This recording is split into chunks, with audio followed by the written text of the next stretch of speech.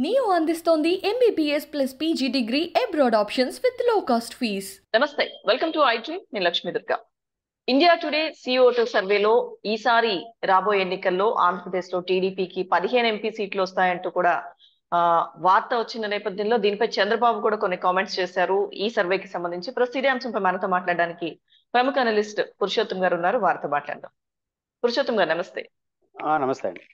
పురుషోత్తం గారు ఏంటి పరిస్థితి అంటారు? ఆ పదిహేను ఎంపీ సీట్లు వస్తాయి వైసీపీ కేవలం మూడు నాలుగు స్థానాలకే పరిమితం అవుతుంది అంటూ కూడా వ్యాఖ్యానించారు. అంటే చంద్రబాబు కూడా దీనిపై మాట్లాడారు. ఇంకా కొద్ది రోజులైతే ఈ సీట్లు కూడా వచ్చే అవకాశం లేదు అంటూ ఎలా చూడొచ్చు అంటారు? ఇప్పుడు ఆంధ్రప్రదేశ్లో ఇరవై మూడు లోక్సభ సీట్లు ఉంటాయి. ఇరవై ఐదు లోక్సభ సీట్లు. ఇప్పుడు పదహైదు తెలుగుదేశంకి వస్తే పది వైసీపీకి రావాలి కదా మూడు నాలుగు ఎట్ట వస్తాయి కాబట్టి ఆ సర్వే యొక్క విశ్వసనీయత దాన్ని బట్టి ఆధారపడి ఉంటుంది.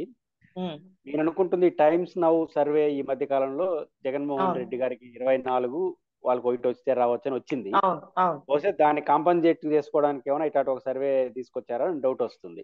పురుషోత్తం రెడ్డి గారు అంటే అవన్నీ పెయిడ్ సర్వేలని మాట్లాడుతున్నారు కదా.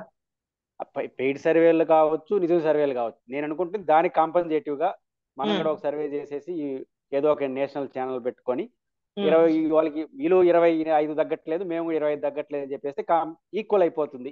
ప్రచారానికి ప్రచారం అన్నట్టుగా వ్యవహరిస్తుంటే నాకు అర్థం అవుతుంది రెండో ఏంటంటే ఇప్పుడు వాళ్ళు చెప్పిన లెక్క ప్రకారం చంద్రబాబు నాయుడు గారు రెండు వ్యూహాలతో బహుశా ఈ సర్వే ఈ సర్వేని ఉపయోగిస్తున్నారు అనుకుంటాను ఈ సర్వే పట్ల నాకు నమ్మకం లేదు. ఎందుకు నమ్మకం లేదంటే నాకే కాదు. ఇప్పుడు. వైసీపీ ప్రభుత్వం పట్ల బాగా వ్యతిరేకం ఉన్న పత్రికల్లో ఈనాడు కూడా ఒకటి. వాళ్ళ కారణాలు ఒకటి ఉండొచ్చు. ఇప్పుడు ఈనాడులో ఎందుకు ఈ సర్వే రిపోర్ట్ రాలేదు? నాకు కనపడలేదు. బహుశా మీకు కనపడిందో లేదో ఈనాడు ఛానల్స్లో పెద్దగా రాలేదు. ఈ సర్వే రిపోర్ట్ నాకు కనపడలా. అంటే ఈ వైసీపీ ప్రభుత్వానికి వ్యతిరేకంగా ఇంత పెద్ద సర్వే వచ్చినప్పుడు ఈనాడు లాంటి సంస్థలు ఎందుకు వేయలేకపోయినారు? వాళ్ళు నమ్మలేదా? లేదా ఇండియా టుడే వాళ్ళు కేవలం కొన్ని ఛానళ్ళకే ఇచ్చినారా? కేవలం ఒకటి రెండు ఛానళ్ళకి ఇచ్చారా? అనుమా అంటే ఆ సర్వే యొక్క విశ్వసనీయత ఎంత ఉన్నదానికి దీన్ని బట్టి అర్థం అవుతుంది. ఇప్పుడు మనకి ఆంధ్రజ్యోతిలో వచ్చింది కదా? నేను. అదే అంటున్నాను. ఈనాడు ఇంకా. సంతోషించాలి కదా. నా పాయింట్ ఏంటంటే జగన్మోహన్ రెడ్డి గారు ఓడిపోతారంటే సంతోషించే వాళ్ళు ఈనాడు కూడా ఒకటి. గా రాస్తున్నారు కదా లేని దాన్ని కూడా రాస్తున్నారు కదా. బట్ ఇట్లాంటి ఒక సర్వే వచ్చినప్పుడు ఇండియా టుడే చెప్పేసి ఇంక జగన్ ఓడిపోతారని బాగా సంతోషంగా వార్త ఫస్ట్ పేజ్లో రావాలి. అలాంటిది ఆ ఛానల్ ఆ మీడియా సంస్థలు వేయలేదంటేనే ఈ సర్వేకి ఆ మాత్రం విశ్వసనీయత కూడా వాళ్ళు గుర్తించట్లా లేకపోతే వాళ్ళే చెప్పట్లేదా? ఎందుకంటే ఏదైనా ఒక సర్వే రిపోర్ట్ టైమ్స్ నవ్ కావచ్చు ఇండియా టుడే కావచ్చు ఏదైనా సీ వాటర్స్ కావచ్చు వాళ్ళు ప్రకటిస్తారు. మా సర్వే ఈ ప్రాతిపదిక చేసాము ఇప్పుడు టైమ్స్ నవ్ వాళ్ళు ప్రకటించారు. దాన్ని వైసీపీ వాళ్ళు ఆనందపడి ఉండొచ్చు. మాకు ఎక్కువ వచ్చిందని. ఇప్పుడు ఇండియా టుడే మేనేజ్మెంట్ ప్రకటించిందా అనేది ఒక డౌట్ వస్తా ఉంది. ప్రకటించుంటే. అన్ని పేపర్లను సమానంగా రావాలి. అలాంటిది ఒక సం- ప్రధానమైన పత్రికల్లో అందులో జగన్మోహన్కి వ్యతిరేకమైన ఉన్న పత్రికలో రాలేదంటేనే ఆ సర్వే పట్ల గందరగోళం అనేది కనబడుతుంది. నేను అనుకుంటే చంద్రబాబు గారు రెండు వ్యూహాలతో ఈ సర్వే రిపోర్ట్ని ఉపయోగిస్తున్నారని ఒక అనుమానం. ఒక వ్యూహం. ఏంటంటే టైమ్స్ నవ్ కావచ్చు ఈ మధ్య ఒకటి రెండు ఛానల్ ఛానల్స్ చేసిన వాటిలో జగన్మోహన్ రెడ్డి గారికి ఏకపక్షంగా గెలుస్తాడు అని ఒక సర్వే రిపోర్ట్లు వస్తున్నాయి. దీనికి ఇరుగుడుగా ఇంకొక ఏదైనా ఒక ఛానల్ వాళ్ళు చెప్పేస్తే ఈక్వల్. అయిపోతుంది. ప్రచారానికి ప్రచారం అన్నట్టుగా ఒకటి ఉంటుంది. దానికన్నా మించి జనసేన అధినేత ఏదైతే ఈ మధ్య ప్రకటన చేస్తున్నాడో ఏటి రెగ్యులర్గా వార వారాహి మూడో దఫా వస్తున్నాడో జనం బాగా వస్తున్నాడు. ఆయన ఈ మధ్య కన్నా ప్రకటనలో కూడా కొంచెం తేడా వస్తా ఉంది.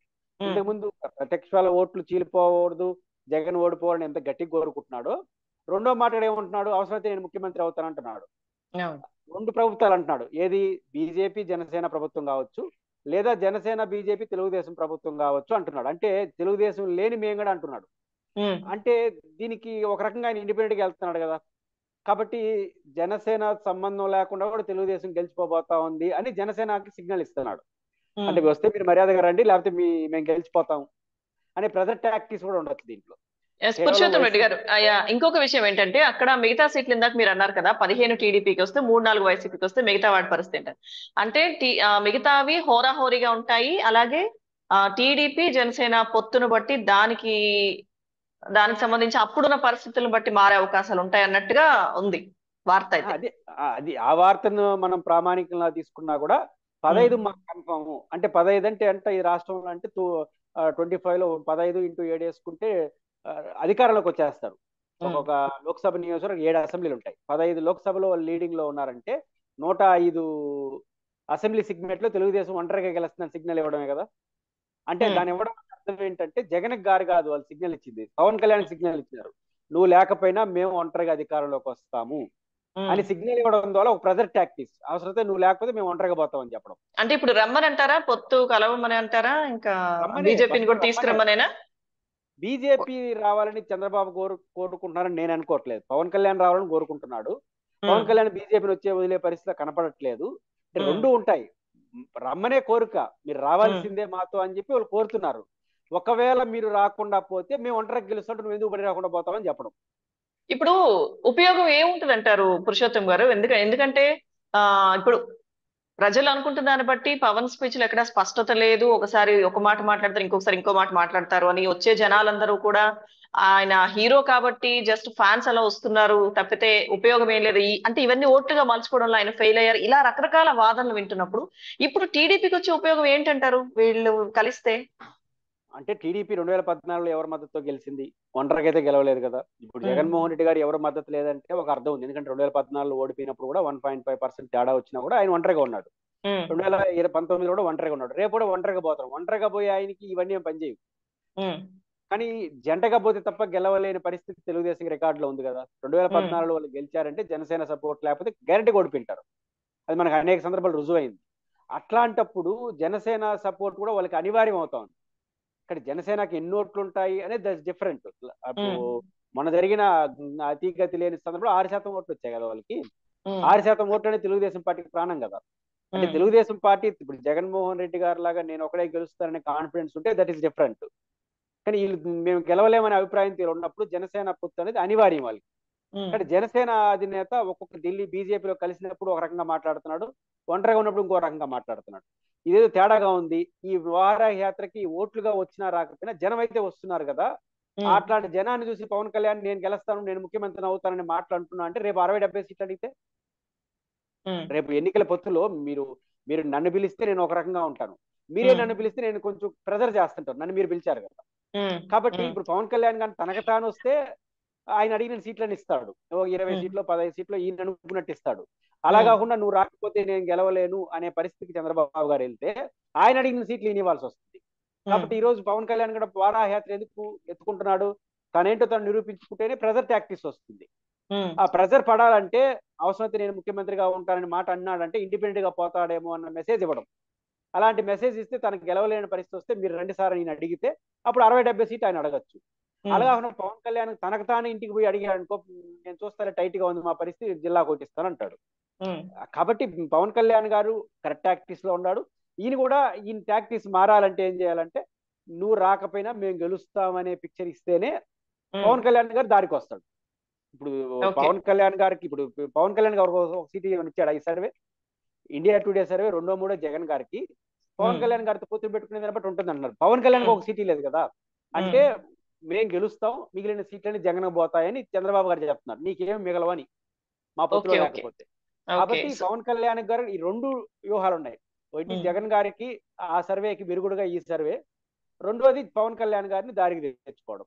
కాబట్టి. ఇది సర్వే చూసేసి భ్రమపడేంత పరిస్థితులు ఎవరో ఉండరు. దట్ ఈస్ డిఫరెంట్ ఇష్యూ కానీ కొంత ఈ శ్రేణులకు ఒక మెసేజ్ వెళ్తుంది కదా ఏమో అని చెప్పి. కాబట్టి ఆ టాక్టిక్స్తో ఈ సర్వేలు వాడుకుంటున్నారేమో అనిపిస్తుంది. Okay okay. సో అయితే అంటే కేవలం ఇది ఇప్పుడు ఏదైతే ఈటీజీ టైమ్స్ నో సర్వే వచ్చింది వైసీపీ అధిక స్థానాలు సంపాదించుకుంటుందని. సో దానికి పోటీగా వచ్చిన సర్వే తప్పితే ఇదేం సీరియస్గా తీసుకోవాల్సిన అవసరం వైసీపీకి లేదంటారా? వైసీపీకి టైమ్స్ నౌ కూడా పూర్తిగా సీరియస్గా తీసుకోకూడదు. టైమ్స్ నౌ సర్వే కూడా ఏకపక్షంగా ఇరవై ఇరవై ఐదు వస్తాయి ఒక పార్టీకి? ఏకపక్షంగా వైసీపీ రెండు వేల పంతొమ్మిదిలో యాభై ఒక్క శాతం ఓట్లతో అన్ని సానుకూల పరిస్థితుల్లో ఇరవై ఇరవై రెండు వచ్చినాయి. ఇప్పుడు అధికారంలో ఉన్నప్పుడు అంతో కొంత వ్యతిరేకత కేడర్లో వాటిలో సమస్యలు వస్తే ప్రతిపక్షానికి కొంత అడ్వాంటేజ్ ఉంటుంది. మన ఎమ్మెల్సీ ఎన్నికల్లో రెండు గెలిచారు. కానీ. వైసీపీ కూడా ఇరవై నాలుగు ఇరవై ఇరవై ఐదుకి ఇరవై ఐదు వస్తాయి నేనైతే అనుకోను. ఆ టైమ్స్ నౌ సర్వేని ఒక సానుకూలంగా తీసుకోవచ్చు వైసీపీ. ఎస్ మాకు బాగుందని. అదే ప్రామాణికంగా తీసుకోవడం కరెక్ట్ కాదు. జగన్ చంద్రబాబు నాయుడు గారు అయితే ఇండియా టుడేని ప్రామాణికంగా తీసుకోడు. ఎందుకు తీసుకోడు? ఆయన టాక్టికల్గా వాడుతున్నాడు దట్ ఆయనకి ఆయన తెలుసు. ఎందుకంటే ఏముందో పరిస్థితి ఆయనకి తెలుసు. ఆయన ఒక టాక్టికల్గా దానికి విరుడుగా ఎంచుకుంటున్నాడు. జనసేనని దారికి తెచ్చుకునే ఒక ప్రజర్ టాక్టిక్స్ని పాటిస్తున్నాడు. కానీ ఆయన ఇండియా టుడేని ప్రామాణికంగా తీసుకోడు. ఆయనకేం. ఇబ్బంది లేదు. ఎందుకంటే ఆయనకి ఏం చేస్తున్నాడో ఆయన ఎందుకు మాట్లాడుతున్నాడో ఆయనకి తెలుసు. అంటే. వైసీపీ ఈ విషయంలో జాగ్రత్తగా ఉంటే టైమ్స్ నౌ సరే ఒక అడ్వాంటేజ్గా తీసుకోవాలి తప్ప అదే. ప్రామాణికంగా తీసుకుంటే వీళ్ళకి కూడా ఇబ్బంది అవుతుంది. ఓకే. రైట్ పురుషోత్తం రెడ్డి గారు థ్యాంక్ యూ వెరీ మచ్